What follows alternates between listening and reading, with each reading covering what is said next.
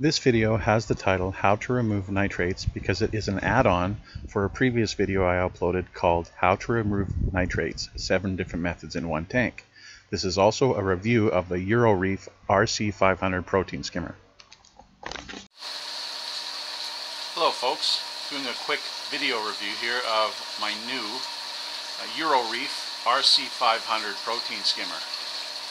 Now if you look at my playlist and you see uh, the one titled How to Remove Nitrates, 7 Different Methods, um, you can see that I had this protein skimmer running.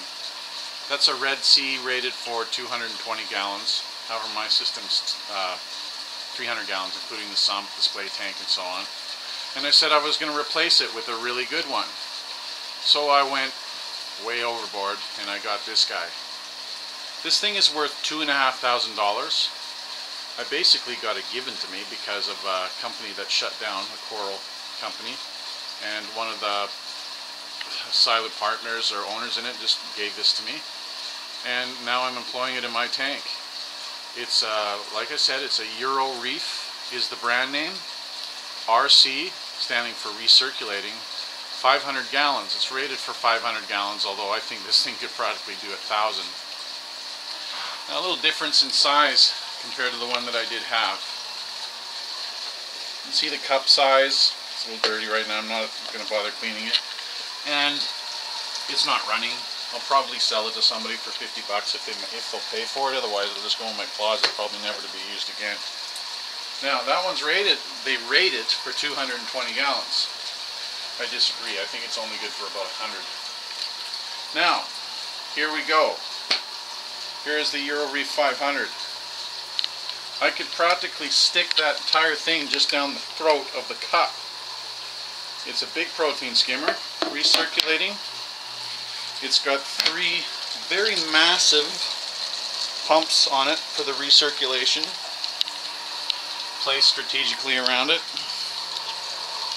And it's got about a, a two inch exit pipe, which I now have putting down there I am putting it into a bucket and a little bit of a sleeve just to control the splash so I don't get effervescent uh, salt all over the place. And this thing here, we're all familiar with bucket of Instant Ocean. That's a 160 gallon worth compared to the size of the chamber. It's about twice the capacity. And look at all the bubbles. Fantastic amount of oxygenation. And I've already cleaned the cup. But in approximately 20 minutes, this pulled out as much brown sludgy water as that one did in about four or five days. So there you go, there's a, review of my upgrade to a Euro Reef RC500 recirculating protein skimmer. I said I'd go overkill with it, I did, and let's see how that improves my system. I'll let you know in the future. Please look back at my other uh, uploads. Just click on my channel name, take you to my channel, and check out my uploads. More to come in the future. Thank you.